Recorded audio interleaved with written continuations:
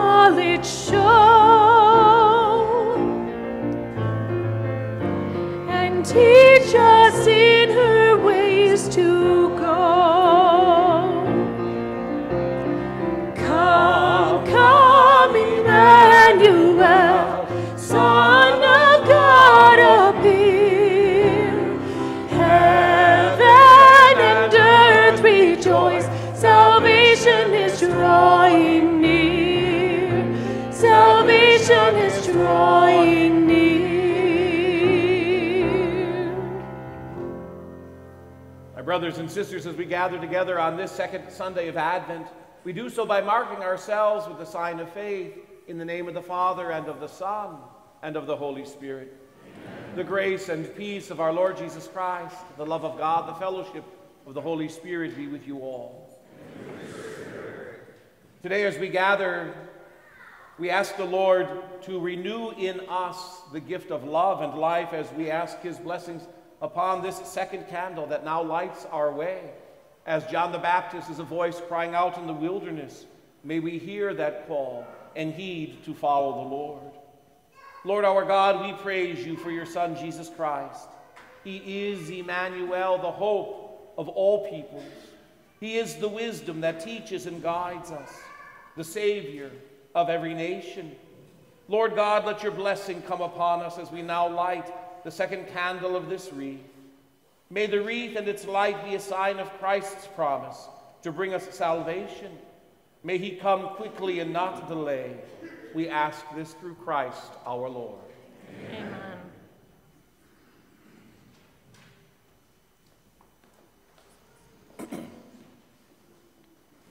Kyrie eleison. Kyrie eleison. Christe eleison. Christe eleison. Kyrie eleison. Kyrie eleison. Let us pray.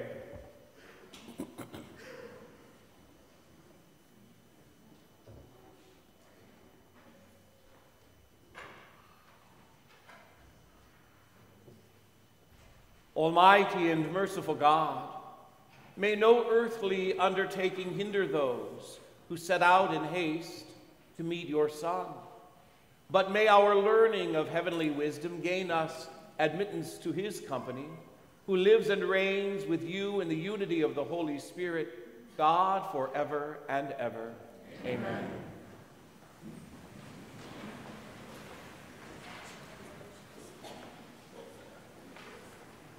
Invite the children forward now for the children's liturgy of the word this morning. All of the children come forth now as we go to listen to God's word spoken to our hearts.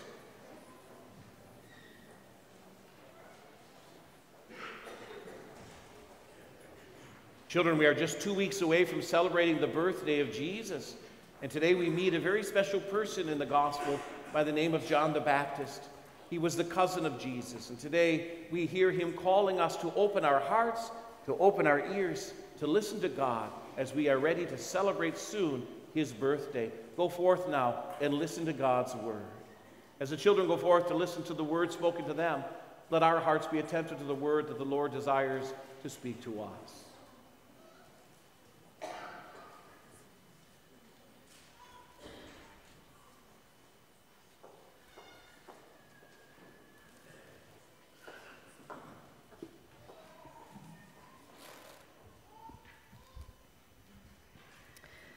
A reading from the book of the prophet Isaiah. Comfort, give comfort to my people, says your God. Speak tenderly to Jerusalem and proclaim to her that her service is at end. Her guilt is expiated. Indeed, she has received from the hand of the Lord double for her sins.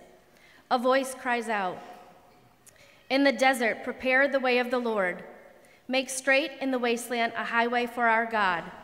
Make every valley shall be filled in, every mountain and hill shall be made low. The rugged land shall be made plain, the rough country a broad valley. Then the glory of the Lord shall be traveled, and all people shall see it together, for the mouth of the Lord has spoken. Go up to the high mountain, Zion, herald of glad tidings. Cry out at the top of your voice, Jerusalem, herald of good news. Fear not to cry out and say to the cities of Judah, Here is your God. Here comes with power the Lord God, who rules by the strong arm. Here is the reward with him, his recompense before him. Like a shepherd, he feeds his flock. In his arms he gathers the lambs, carrying them in his bosom and leading with ooze with care. The word of the Lord.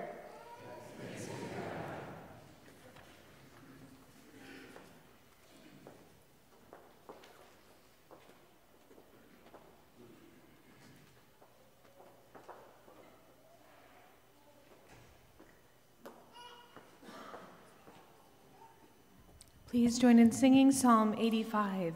Lord, let us see your kindness and grant us your salvation.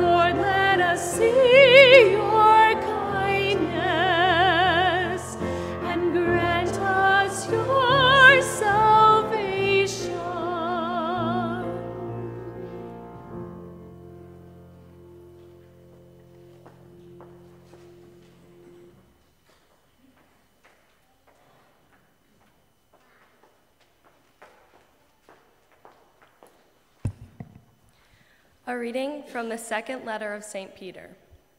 Do not ignore this one fact, beloved, that with the Lord one day is like a thousand years, and a thousand years like one day. The Lord does not delay his promise, as some regard delay, but he is patient with you, not wishing that any should perish, but that all should come to repentance. But the day of the Lord will come like a thief, and then the heavens will pass away with a mighty roar and the elements will be dissolved by fire, and the earth and everything done on it will be found out. Since everything is dissolved in this way, what sort of persons ought you to be? Conducting yourselves in holiness and devotion, waiting for and hastening the coming of the day of the God, because of which the heavens will be dissolved in flames and the elements melted by fire. But according to his promise, we await new heavens and a new earth in which righteousness dwells. Therefore, beloved, since you await these things, be eager to be found without spore or blemish before him at peace. The word of the Lord. Thanks be to God.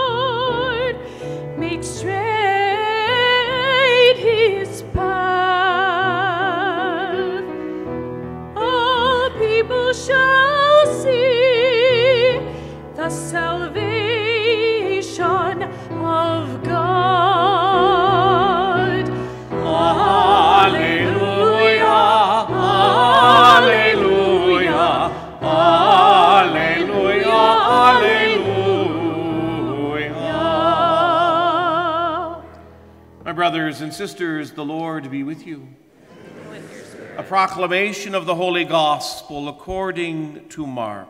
Glory to you, O Lord. The beginning of the Gospel of Jesus Christ, the Son of God. As it is written in Isaiah the prophet, Behold, I am sending my messenger ahead of you. He will prepare your way. A voice of one crying out in the desert, Prepare the way of the Lord, make straight his paths. John the Baptist appeared in the desert, proclaiming a baptism of repentance for the forgiveness of sins. People of the whole Judean countryside and all the inhabitants of Jerusalem were going out to him and were being baptized by him in the Jordan River as they acknowledged their sins. John was clothed in camel's hair with a leather, belt around his waist. He fed on locusts and wild honey. And this is what he proclaimed One, mightier than I, is coming after me.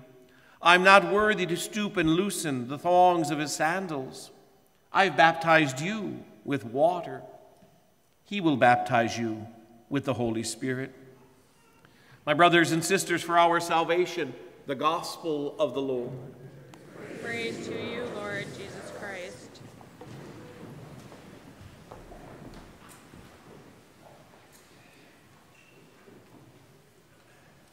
On this second Sunday of Advent, we have the wonderful imagery and the metaphors that the prophet Isaiah gives us in that first reading, which is well known to many of us. Many a Christmas songs have been written using the words of Isaiah the prophet. Certainly, Handel's Messiah composed beautifully the metaphors and imagery of those words that we hear in the first reading today.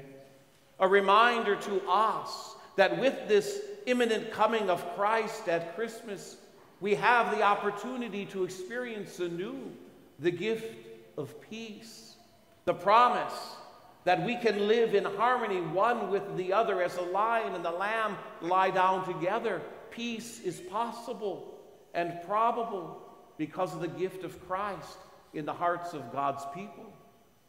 But before we hear those words of peace, we have the proclamation of John the Baptist, which we hear every year on the second Sunday of Advent. This voice crying out in the wilderness. Mark, at the very beginning of his gospel, takes us to the wilderness, not to the mountains and the hills, to the valleys that Isaiah the prophet speaks of in the first reading, but he takes us to the wilderness. The wilderness is a place of chaos. It's a place of unrest. It's a place of uncertainty. Why would Mark take us there? Because it's there that he believes that only the voice of hope can be heard in the midst of the chaos. The voice of hope is heard amongst God's people, that we can be delivered from the chaos of the world in which we live, and that we might know the fullness of peace that is promised by God. Certainly, that promise of peace is to be felt, we pray, especially in the places where war ravages today in our world, where there is unrest, where there is chaos, where there is trouble. In 1941, the song White Christmas was composed by Irving Berlin. He was so proud of the fact that he wrote that song that he came out of the studio and said to his friends, This is by far the best song ever written, and it will stand the test of time of all history. What an ego he had that particular morning when he proclaimed what wonders he did with that song. But in those words, and we probably could all sing it together I'm dreaming of a white Christmas, just like the one I used to know. There is in those words that sentiment that wants to bring us back often to the places where we knew, the places where we're comfortable, the places where we're at home, the places where traditions continue to identify and help shape who we are. He wrote that song in the midst of the Second World War, when people were longing for a home, when they were longing for peace, when they were longing to return to what they knew, what was comfortable, what was peaceful. But you know, Christmas is not always a place of peace and hope for people. There are people who struggle during the holidays. They struggle with the pain of losing a loved one. They struggle with the ways that things aren't the way they used to be. Maybe in the many hearts, they long for it to be over. And yet, in the midst of these days, we as a faith filled people, in the midst of the chaos, are called to hear the voice of hope crying out to us. It's not about the tinsel and the lights, it's not about the chocolate and the packages. It's about the promise that God gives us in Christ. The hope that assures us and reminds us that even in the midst of the chaos in our world, and sometimes even in our own hearts, that peace is not only possible, it's probable because it's given to us by Christ, who longs to have a relationship with us. And so today, as we pause halfway now in this season of Advent, just 10 days, 15 days, two weeks to Christmas, in the midst of the chaos that might be surrounding us with all of the things that we have yet to do, we pause for a moment to hear this voice, reminding us that the gift of hope is the gift that God wants to give us. So that we, whether we're on the mountain or in the valley, whether we're with the lion or the lamb lying down, whether we're proclaiming on the mountaintop, that we hear the voice rendering us be still, be at peace, and know of the gift that comes to us in Christ, a gift that surpasses all other gifts, a gift that ushers in for us the opportunity to welcome anew the one who offers us the very gift of hope. We might be dreaming of a white Christmas.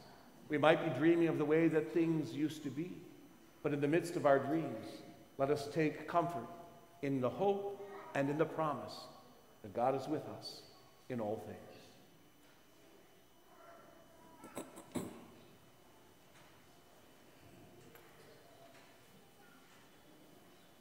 Let us stand to profess our faith and our belief in our loving God.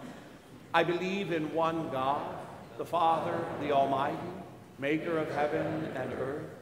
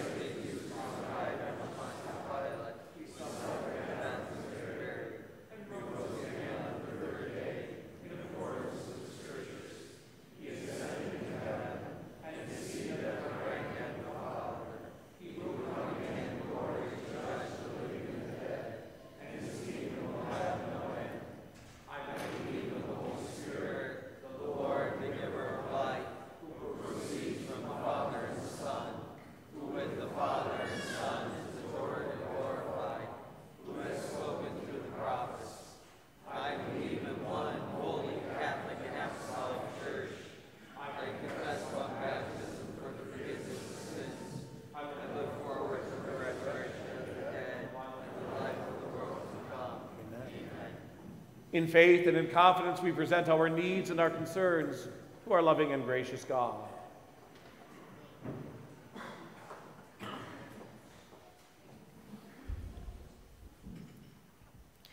That the church may be a voice crying out in the wilderness, proclaiming the kingdom of God to a world in need of the gospel. Let us pray to the Lord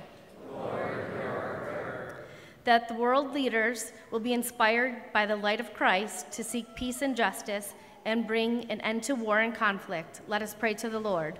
Lord that we might prepare the way of the Lord in our hearts and homes and grow in faith, hope, and love during this Advent season. Let us pray to the Lord. Lord For our family members and friends who have wandered from knowing Jesus and his church, May we plant and nurture seeds of faith from our joyful witness and acts of love and kindness. Let us pray to the Lord. Lord that the spirit of Christian hospitality may flourish our, in our parish so that we together will build a culture of invitation and welcome. Let us pray to the Lord. Lord, hear our prayer.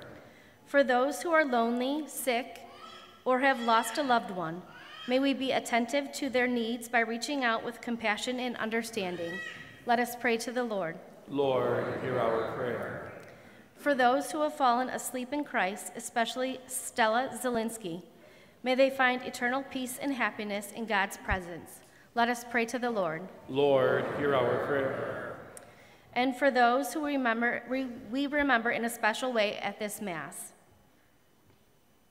Marianne Borgia, Mary Gauchi, Linda Gauchi, Michael Douglas Carter. Let us pray to the Lord. Lord, hear our prayer. Lord our God, as we ask that you hear these, our prayers of need and concern, you give us the grace to hear the voice of hope calling out to us on our Advent journey that ultimately leads to the gift of your Son at Christmas. We ask this in your name, you who live and reign, God forever and ever. Amen. As the altar is prepared and the gifts of bread and wine are brought forward, I invite any of the children who have an offering for the giving well to come and to share their offering for other children and families most in need, especially during this Christmas time. Thank you, children, for your love and generosity for others.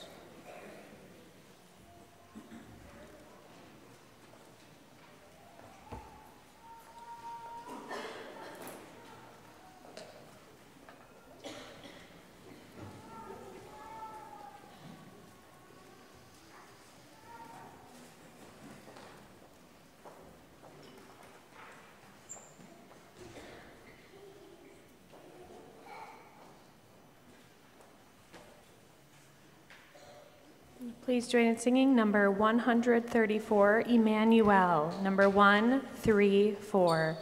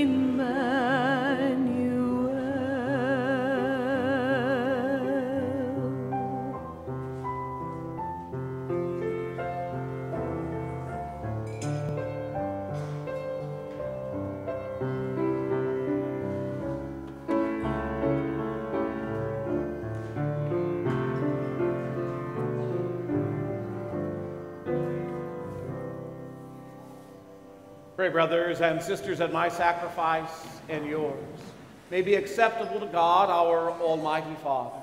May the Lord, Lord accept the sacrifice of my hands. for the praise and glory of his name, for our good and the good of all his holy church.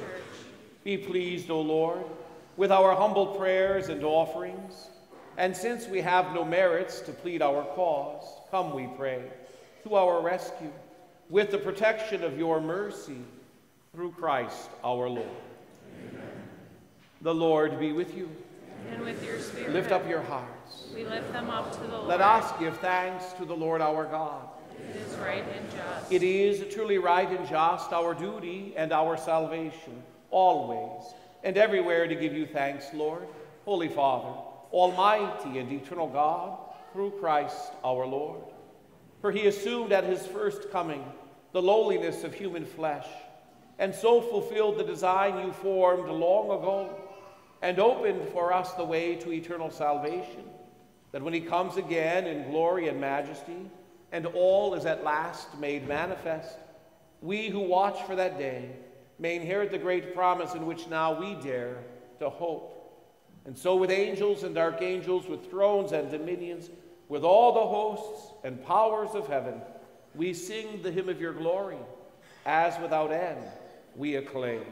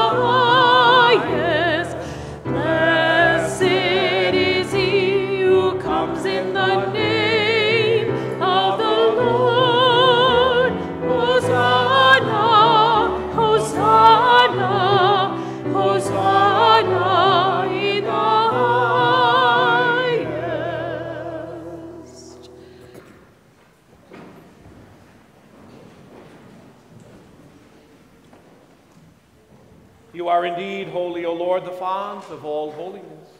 Make holy, therefore, these gifts, we pray, by sending down your Spirit upon them like the dewfall, that they may become for us the body and blood of our Lord Jesus Christ.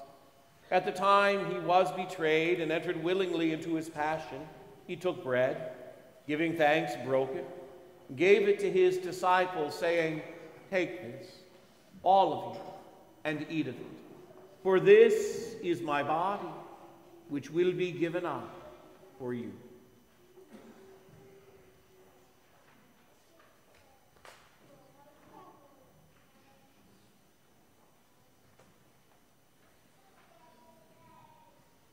In a similar way, when supper was ended, he took the chalice, and once more giving thanks, he gave it to his disciples, saying, Take this, all of you, and drink from it, for this is the chalice of my blood the blood of the new and eternal covenant, which will be poured out for you and for many, so that sin may be forgiven. Do this in memory of me.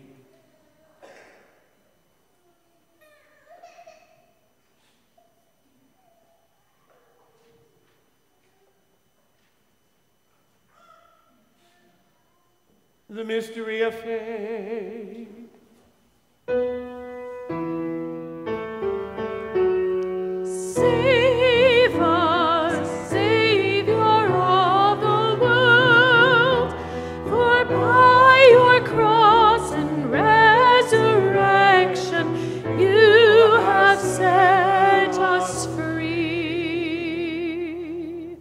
Therefore, as we celebrate the memorial of his death and resurrection, we offer you, Lord, the bread of life and the chalice of salvation, giving thanks that you have held us worthy to be in your presence and minister to you. Humbly we pray that partaking of the body and blood of Christ, we may be gathered into one by the Holy Spirit. Remember, Lord, your church spread throughout the world. Bring her to the fullness of charity. Together with Francis, our Pope, Allen, our bishop, the order of bishops, and all the clergy. Remember also our brothers and sisters who have fallen asleep in the hope of the resurrection, and all who have died in your mercy. Welcome them into the light of your face. Have mercy on us all, we pray, that with the Blessed Virgin Mary, Mother of God, with blessed Joseph, her spouse, with the blessed apostles and glorious martyrs, with Irenaeus, Andrew, Mary of the Hills, John the Baptist, and all the saints who have pleased you throughout the ages, we may merit to be co heirs to eternal life, and may praise and glorify you through your Son, Jesus Christ. through him and with him and in him, O God Almighty Father, in the unity of the Holy Spirit all glory and honor is yours forever and ever.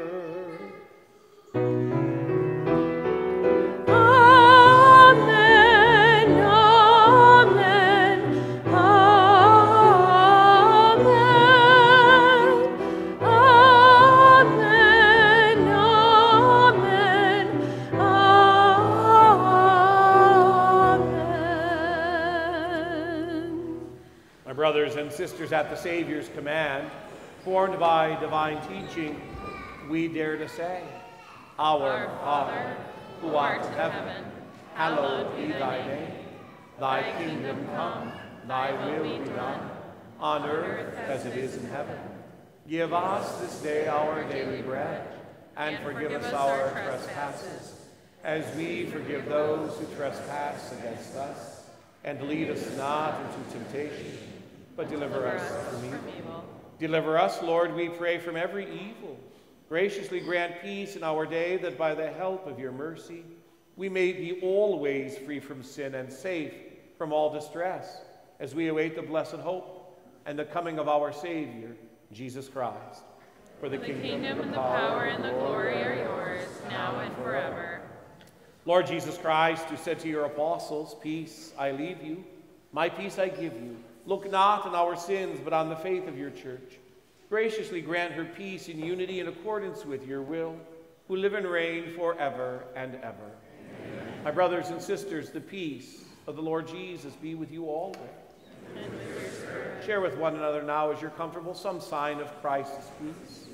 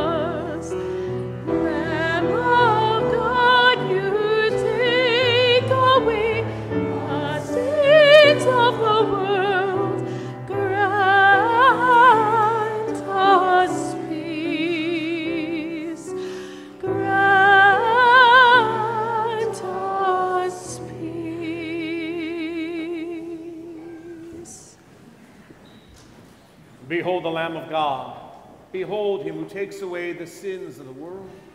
Blessed are those called to the supper of the Lamb. Lord, I am not worthy that you should enter under my roof, but only say the word, and my soul shall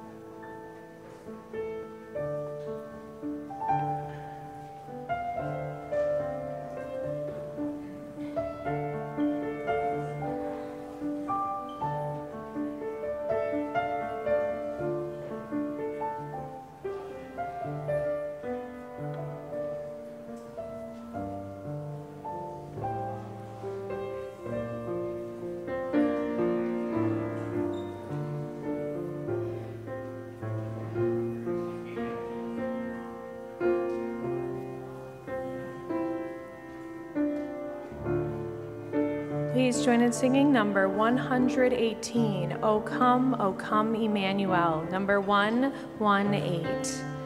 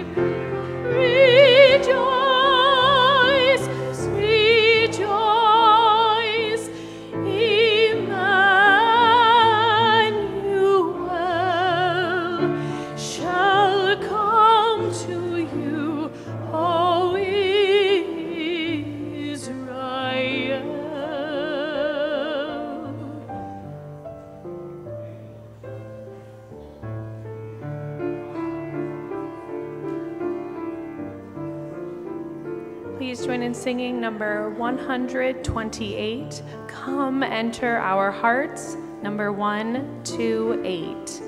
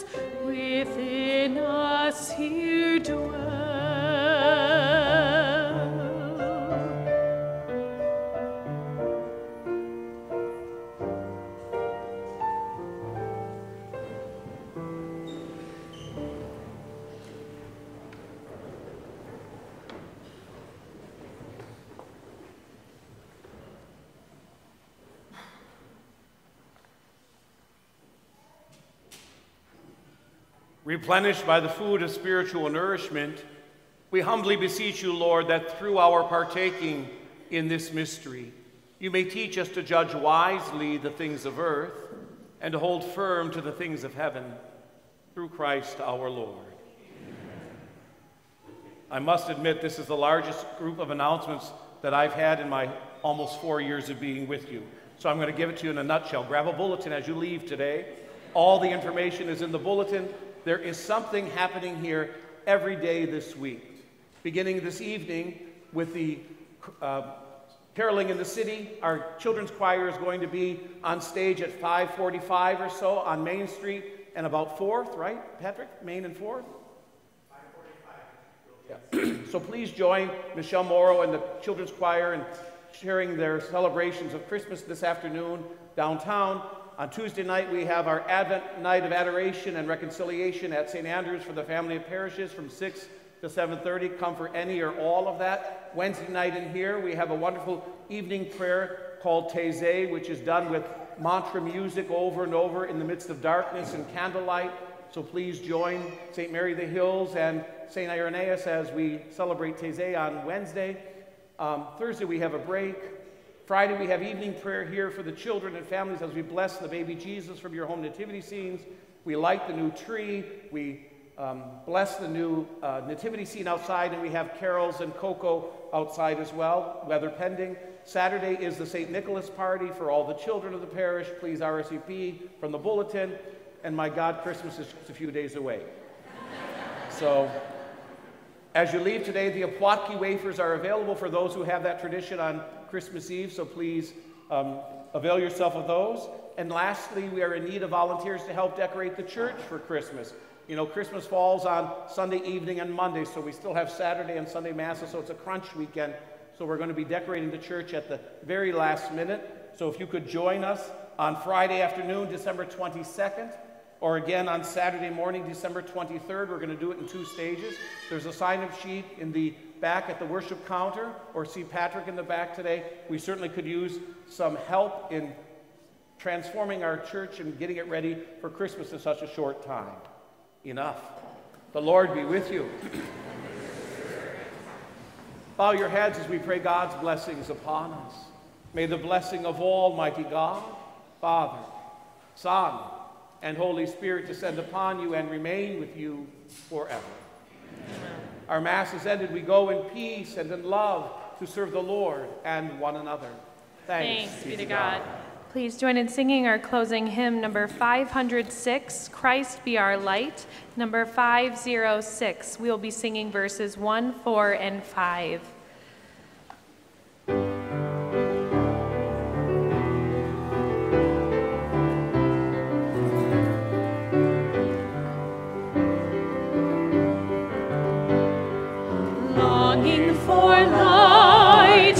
To belong. Let us be saved.